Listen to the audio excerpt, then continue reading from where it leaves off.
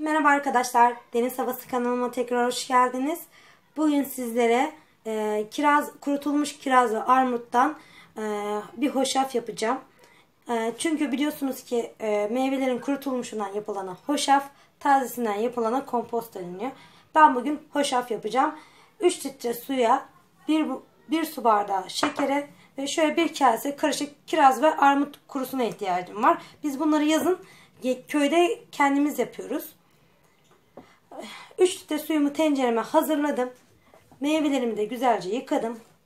Hemen tencereme yerleştiriyorum. Tenceremin altını açıyorum. Meyvelerim yumuşayana kadar kaynatıyorum.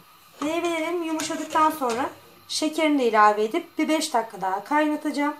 Ve daha sonra soğu soğumaya bırakacağım ve servise hazır olacak. Meyvelerimiz kaynamaya başladı arkadaşlar.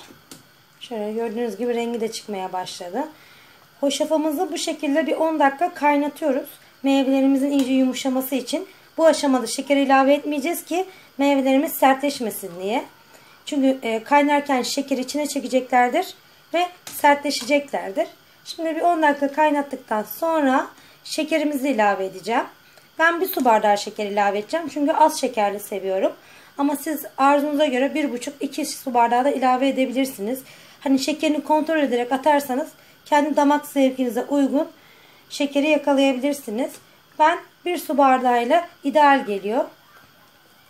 Şimdi bu şekilde kaynaması 10 dakika bittikten sonra şekerimi ilave edeceğim.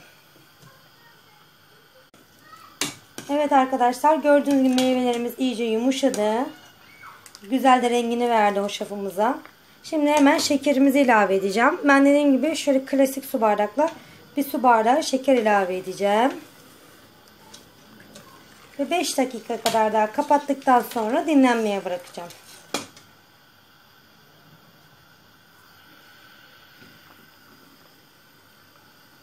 Evet arkadaşlar. Hoşafımız artık hazır. Şöyle rengini göstereyim. Gayet güzel. Kırmızımsı bir rengi var. Şimdi ben bunu bir 5 dakika 10 dakika ağzını kapatıp dinlendireceğim. Daha sonra kaselerimi alıp servis için dolaba koyacağım. Akşamleyin afiyetle yiyebilelim diye. Umarım siz de beğenmişsinizdir. Son halini de sizlerle paylaşacağım. Beğendiyseniz ve kanalıma abone olmayı unutmazsanız çok sevinirim.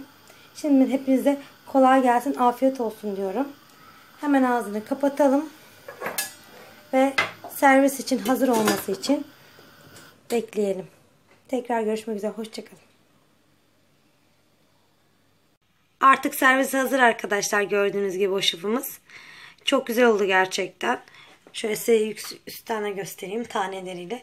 İsterseniz böyle meyve suyu olarak çocuklarınıza da verebilirsiniz. Ya da böyle taneleriyle de servis edebilirsiniz kasede.